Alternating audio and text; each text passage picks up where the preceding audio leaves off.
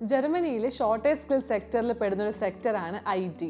I T സെക്ടറിൽ vocational training കരിയറിൽ അതായത് ഹൗസ് ബിൽഡിങ്ങിലും അതുപോലെ ഡുവൽ സ്റ്റഡി പ്രോഗ്രാമിലും പല പല ഓപ്പർച്യൂണിറ്റീസ് ഉണ്ട്.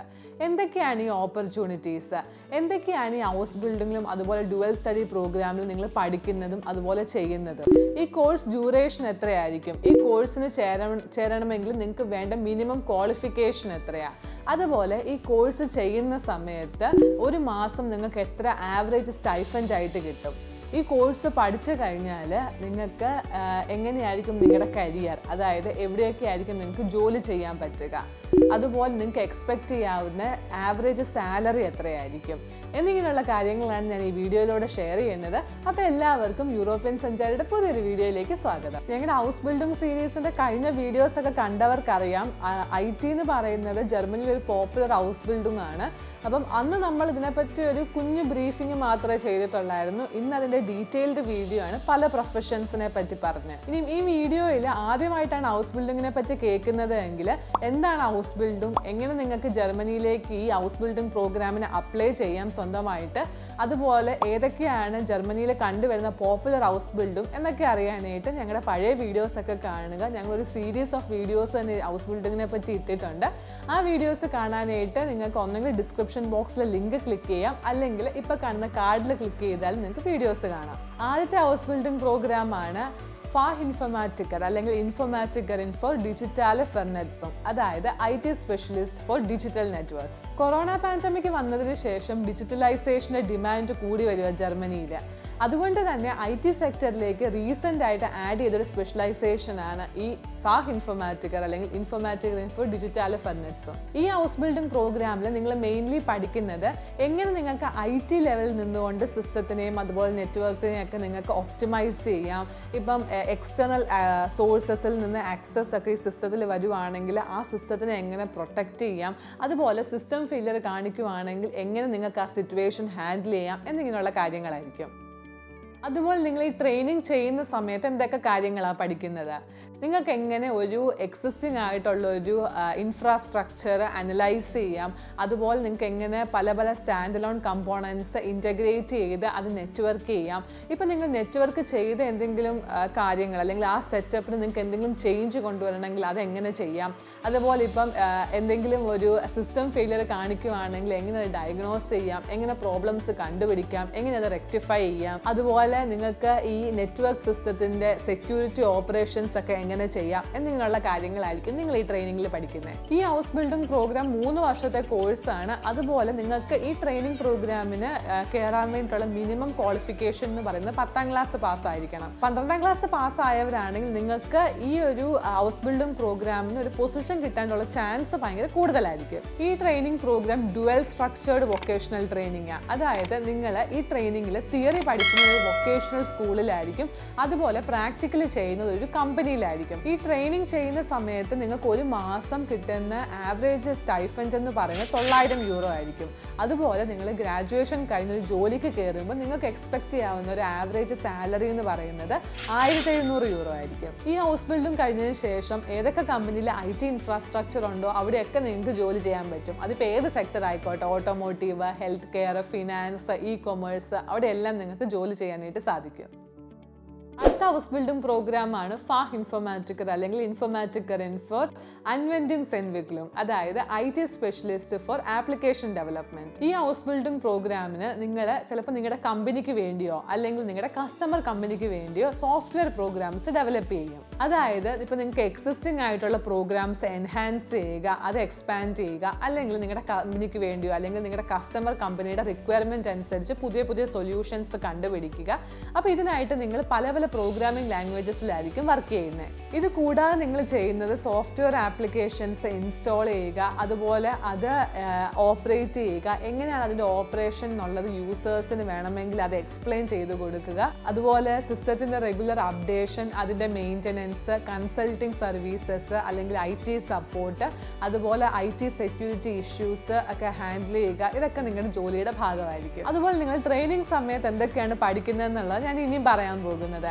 എങ്ങനെ നിങ്ങൾക്ക് ഒരു ഒരു ആപ്ലിക്കേഷൻ സിസ്റ്റം ഡെവലപ്പ് ചെയ്യാം അതെങ്ങനെ ഇംപ്ലിമെന്റ് ചെയ്യാം അതുപോലെ നിങ്ങൾ ഈ ജോലി ചെയ്യുന്ന സമയത്ത് നിങ്ങളുടെ ജോലികളൊക്കെ എങ്ങനെ ഓർഗനൈസ് ചെയ്യാം അതുപോലെ കസ്റ്റമേഴ്സിന് എങ്ങനെ നിങ്ങൾക്ക് സപ്പോർട്ട് കൊടുക്കാം. പിന്നെ ലോജിക് തിങ്കിങ് വളരെ ഇമ്പോർട്ടന്റ് ആയിട്ടുള്ള പ്രൊഫഷൻ ആയതുകൊണ്ട് തന്നെ മാത്തമാറ്റിക്കലി പ്രോബ്ലംസ് സോൾവ് ചെയ്യാൻ എന്നുള്ളത് നിങ്ങളുടെ ട്രെയിനിങ്ങിന്റെ ഒരു ഭാഗമായിരിക്കും. ടെക്നിക്കൽ ഇംഗ്ലീഷ് നിങ്ങളുടെ ട്രെയിനിങ് സമയത്ത് പഠിക്കുന്ന ഒരു കാര്യമാണ്. കാരണം ഒരുപാട് ടേംസും അതുപോലെ ഡോക്യുമെന്റേഷനും ഒക്കെ ഇംഗ്ലീഷിലായതുകൊണ്ട് കസ്റ്റമർ കമ്മ്യൂണിക്കേഷൻ ഈ ജോലിയുടെ ഒരു പ്രധാന ഭാഗമായതുകൊണ്ട് നിങ്ങൾ ഈ ട്രെയിനിങ് സമയത്ത് പല പല കമ്മ്യൂണിക്കേഷൻ ടെക്നിക്സും അതുപോലെ കൺസൾട്ടിങ് ടെക്നിക്സും ട്രെയിനിങ് മെത്തേഡ്സും ഒക്കെ പഠിക്കും. ഈ ഹൗസ് ബിൽഡിംഗ് പ്രോഗ്രാം മൂന്ന് വർഷത്തെ കോഴ്സാണ് അതുപോലെ ഈ പ്രോഗ്രാം എടുക്കാനായിട്ട് വേണ്ട നിങ്ങൾക്ക് മിനിമം എഡ്യൂക്കേഷൻ ക്വാളിഫിക്കേഷൻ എന്ന് പറയുന്നത് പത്താം ക്ലാസ് പാസ്സാണ് പന്ത്രണ്ട് പാസ്സായവർക്കും ഈ ട്രെയിനിങ് അറ്റൻഡ് ചെയ്യാവുന്നതാണ്. നിങ്ങൾക്ക് കുറച്ചും കൂടി കിട്ടാനുള്ള ചാൻസ് ഭയങ്കര കൂടുതലായിരിക്കും. അതുപോലെ നിങ്ങളുടെ കരിയർ ഡെവലപ്മെന്റും കൂടുതലായിരിക്കും. ഈ ട്രെയിനിങ് സമയത്ത് നിങ്ങൾക്ക് കിട്ടുന്ന ഒരു ആവറേജ് സ്റ്റൈഫന്റ് എന്ന് പറയുന്നത് തൊള്ളായിരത്തി അറുപത് യൂറോ ആയിരിക്കും ഒരു മാസം. അതുപോലെ നിങ്ങൾ ഗ്രാജുവേറ്റ് ആയി കഴിഞ്ഞ് ഒരു കമ്പനിയിൽ ജോലി കിട്ടിക്കഴിഞ്ഞതിന് ശേഷം നിങ്ങൾക്ക് സ്റ്റാർട്ടിംഗ് സാലറി ആയിട്ട് എക്സ്പെക്ട് ചെയ്യാവുന്ന ഒരു മാസം രണ്ടായിരം യൂറോ ആയിരിക്കും. അതുപോലെ ഏതൊക്കെ കമ്പനിയിൽ ഐ ടി ഇൻഫ്രാസ്ട്രക്ചർ ഉണ്ടോ അവിടെയൊക്കെ നിങ്ങൾക്ക് അപ്ലൈ ചെയ്യാവുന്നതാണ്. അടുത്ത ഹൗസ് ബിൽഡിംഗ് പ്രോഗ്രാം ആണ് ഫാഹ് ഇൻഫോമാറ്റിക്കർ അല്ലെങ്കിൽ ഇൻഫോമാറ്റിക്കർ info system integration I T specialist for system integration എന്ന ഈ ഹൗസ് ബിൽഡിംഗ് പ്രോഗ്രാമിൽ ഇപ്പം നിങ്ങൾ ജോലി ചെയ്യുന്ന കമ്പനിക്കോ അല്ലെങ്കിൽ അവിടെ വർക്ക് ചെയ്യുന്ന മറ്റ് എംപ്ലോയീസിനോ ഐ ടി റിലേറ്റഡ് എന്തെങ്കിലും റിക്വയർമെന്റ്സോ അല്ലെങ്കിൽ ഡിമാൻഡ്സോ ഉണ്ടെങ്കിൽ അതെന്താണെന്ന് മനസ്സിലാക്കി അത് അനലൈസ് ചെയ്ത് അത് നടത്തി കൊടുക്കുക എന്നതായിരിക്കും നിങ്ങളുടെ പ്രധാന ജോലി. അതായത് ഇപ്പം കമ്പ്യൂട്ടേഴ്സ് അല്ലെങ്കിൽ laptop work station setup printer antivirus software ഇതൊക്കെ മേടിക്കുക അത് ഇൻസ്റ്റാൾ ചെയ്ത് കൊടുക്കുക എന്തെങ്കിലും അതിൽ പ്രശ്നങ്ങൾ വരുവാണെങ്കിൽ അതിന് വേണ്ട സപ്പോർട്ട് കൊടുക്കുക എന്നതായിരിക്കും. ഇത് കൂടാതെ നിങ്ങളുടെ എംപ്ലോയീസിന് വേണ്ട സോഫ്റ്റ്വെയറും അതുപോലെ ഹാർഡ്വെയറും സപ്പോർട്ട് കൊടുക്കുക ഇപ്പോൾ പുതിയൊരു എംപ്ലോയി നിങ്ങളുടെ കമ്പനിയിലേക്ക് ജോയിൻ ചെയ്യുവാണെങ്കിൽ ആ എംപ്ലോയിയുടെ വർക്ക് സ്റ്റേഷനൊക്കെ സെറ്റപ്പ് ചെയ്ത് കൊടുക്കുക സോഫ്റ്റ്വെയർ ഡ്രൈവേഴ്സ് എല്ലാം ഇൻസ്റ്റാൾ ചെയ്ത് കൊടുക്കുക. അതായത് ആ എംപ്ലോയിക്ക് യാതൊരു ബുദ്ധിമുട്ടുകൾ ബുദ്ധിമുട്ടുകളും കൂടാതെ ജോലി ചെയ്യാനായിട്ടുള്ള എൻവയോൺമെന്റ് ക്രിയേറ്റ് ചെയ്ത് കൊടുക്കുക. ചില കമ്പനീസിലൊക്കെ എന്തെങ്കിലും ഐ ടി റിലേറ്റഡ് ഇഷ്യൂസ് വരുവാണെങ്കിൽ ടിക്കറ്റ് റേസ് ചെയ്യും. ഒരു ടിക്കറ്റിംഗ് സോഫ്റ്റ്വെയറിലൂടെ അപ്പം ആ ടിക്കറ്റുകൾ വന്നു കഴിഞ്ഞാൽ എന്താണ് പ്രശ്നമെന്ന് മനസ്സിലാക്കി അത് അനലൈസ് ചെയ്ത് അവർക്കത് റിസോൾവ് ചെയ്ത് കൊടുക്കുക എന്നായിരിക്കും നിങ്ങളുടെ പ്രധാന ജോലി. ഈ ഹൗസ് ബിൽഡിങ്ങിന്റെ ട്രെയിനിങ് സമയത്ത് നിങ്ങൾ എന്തൊക്കെയായിരിക്കും മെയിൻലി പഠിക്കുന്നതെന്നാണ് ഞാൻ ഇനിയും പറയാൻ പോകുന്നത്.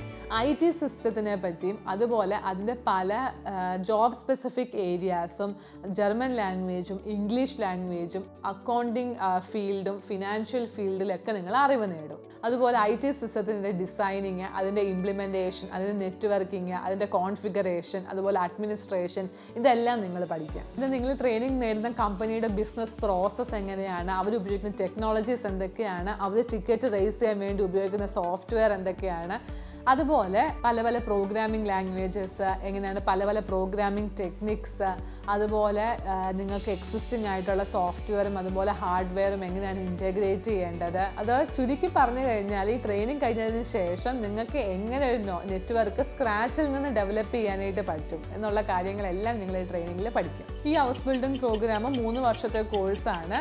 അതുപോലെ നിങ്ങൾ ഇവിടെ നിങ്ങൾക്ക് വേണ്ട മിനിമം എഡ്യൂക്കേഷൻ ക്വാളിഫിക്കേഷൻ എന്ന് പറയുന്നത് പത്താം ക്ലാസ് പാസ്സാണ് പന്ത്രണ്ട് പാസ്സായവർക്കും ഈ ട്രെയിനിങ് പ്രോഗ്രാമിന് അപ്ലൈ ചെയ്യാവുന്നതാണ്. നിങ്ങൾക്ക് കുറച്ചും കൂടി എളുപ്പമായിരിക്കും ഒരു പൊസിഷൻ കിട്ടാനും അതുപോലെ നിങ്ങളുടെ കരിയർ ഡെവലപ്മെന്റും കൂടുതലായിരിക്കും. അതുപോലെ നിങ്ങൾ ഈ ഹൗസ് ബിൽഡിംഗ് ചെയ്യുന്ന സമയത്ത് നിങ്ങൾക്ക് ഒരു മാസം കിട്ടുന്ന ആവറേജ് സ്റ്റൈഫന്റ് എന്ന് പറയുന്നത് ആയിരത്തി അമ്പത് യൂറോ ആയിരിക്കും. അതുപോലെ നിങ്ങൾ ഗ്രാജുവേറ്റ് ആയി നിങ്ങൾക്കൊരു കമ്പനിയിൽ ജോലി കിട്ടിക്കഴിഞ്ഞാൽ നിങ്ങൾക്ക് സ്റ്റാർട്ടിംഗ് സാലറി എക്സ്പെക്ട് ചെയ്യാവുന്നത് ആയിരത്തി തൊള്ളായിരം യൂറോ ആയിരിക്കും. ഞാൻ കഴിഞ്ഞ സ്പെഷ്യലൈസേഷനിൽ പറഞ്ഞ പോലെ തന്നെ ഏതെങ്കിലും ഒരു കമ്പനിയിൽ കസ്റ്റമൈസ്ഡ് ഐ ടി ഇൻഫ്രാസ്ട്രക്ചറുള്ള ഏത് കമ്പനിയാണെങ്കിലും നിങ്ങൾക്ക് അവിടെയെല്ലാം നിങ്ങൾക്ക് ജോലി ചെയ്യാൻ പറ്റും. അടുത്ത ഹൗസ് ബിൽഡിംഗ് പ്രോഗ്രാമാണ് ഫാ ഇൻഫോമാറ്റിക്കർ അല്ലെങ്കിൽ ഇൻഫോമാറ്റിക്കർ ഇൻഫോ ഡാറ്റ ആൻഡ് പ്രോസസ് അനലൂസ് അതായത് I T specialist for data and process analysis പല പല കമ്പനീസിലും പല പല ബിസിനസ് പ്രോസസ്സസാണ് അതായത് ഇപ്പം ഗുഡ്സ് ഓർഡർ ചെയ്യാനായിട്ട് അല്ലെങ്കിൽ ഗുഡ്സ് അതിന്റെ പ്രോസസ്സ് അതുപോലെ ഗുഡ്സ് എങ്ങനെയാണ് ഷിപ്പ് ചെയ്യുന്നത് അതെങ്ങനെയാണ് ഡെലിവറി ചെയ്യുന്നത്. അപ്പോൾ ഈ ഈ പ്രോസസ്സ് അനാലിസിസും അതിന്റെ ഡാറ്റ അനാലിസിസും അപ്പം ഇതെല്ലാം ചെയ്യുന്നത് അല്ലെങ്കിൽ ഇതിന്റെയൊക്കെ റിസൾട്ട് പ്രിപ്പയർ ചെയ്യുന്ന പല പല അനലിറ്റിക്കൽ അല്ലെങ്കിൽ സ്റ്റാറ്റിസ്റ്റിക്കൽ മെത്തേഡ്സ് ഉപയോഗിച്ചായിരിക്കും. അപ്പം ഈ ഡാറ്റ അനാലിസിസ് അതുപോലെ ഈ പ്രോസസ്സ് അനാലിസിസ് എങ്ങനെയാണെന്ന് അനലൈസ് ചെയ്യുക അത് മനസ്സിലാക്കുക അത് ഒപ്റ്റിമൈസ് ചെയ്യാനായിട്ടുള്ള പല പല സൊല്യൂഷൻസ് സജസ്റ്റ് ചെയ്യുക അത് ഇംപ്ലിമെന്റ് ചെയ്യുക എന്നിങ്ങനെയുള്ളതായിരിക്കും ഈ സ്പെഷ്യലൈസേഷനിൽ നിങ്ങൾ മെയിൻലി ചെയ്യുന്നത്. എന്താണ് നിങ്ങൾ ഈ സ്പെഷ്യലൈസേഷന് ട്രെയിനിങ് സമയത്ത് പഠിക്കുന്നത്. നിങ്ങൾ ട്രെയിനിങ് നേടുന്ന ആ കമ്പനി എങ്ങനെയാണ്? അതിന്റെ ഓർഗനൈസേഷൻ എങ്ങനെയാണ്? അതിന്റെ പ്രോസസ്സസ് എങ്ങനെയാണ്? അതുപോലെ ഡിജിറ്റൽ സെക്ടറിൽ അല്ലെങ്കിൽ ഡിജിറ്റൽ നെറ്റ്വർക്കിംഗ് എങ്ങനെയാണ്? കസ്റ്റമേഴ്സിന് വേണ്ട റിക്വയർമെന്റ്സ് അനലൈസ് ചെയ്യുക പ്രൊജക്റ്റ് പ്ലാൻ ചെയ്യുക അതുപോലെ ഓപ്പറേഷണൽ പ്രോസസ്സസ് അല്ലെങ്കിൽ മെഷേഴ്സ് പ്ലാൻ ചെയ്യുക അതുപോലെ പല മാത്തമാറ്റിക്കൽ പ്രഡിക്ഷൻസും അതുപോലെ മോഡൽസും സ്റ്റാറ്റിസ്റ്റിക്കൽ മെത്തേഡ്സ് ഒക്കെ വെച്ച് ഡാറ്റ ഐഡന്റിഫൈ ചെയ്യുക അത് ക്ലാസിഫൈ ചെയ്യുക അതുപോലെ ഡാറ്റ ക്വാളിറ്റി ഡാറ്റ പ്രൊട്ടക്ഷൻ ഉറപ്പുവരുത്തുക. അതിന്റെ ഡാറ്റ പ്രോസസ്സിങ് അതിന്റെ അനാലിസിസ് അത് ഒപ്റ്റിമൈസ് ചെയ്യാനായിട്ടുള്ള പല പല മെഷേഴ്സ് സജസ്റ്റ് ചെയ്യുക അത് ഇംപ്ലിമെന്റ് ചെയ്യുക എന്നിങ്ങനെയായിരിക്കും നിങ്ങൾ ഈ ട്രെയിനിങ് സമയത്ത് ഫോക്കസ് ചെയ്ത് പഠിക്കുന്നത്.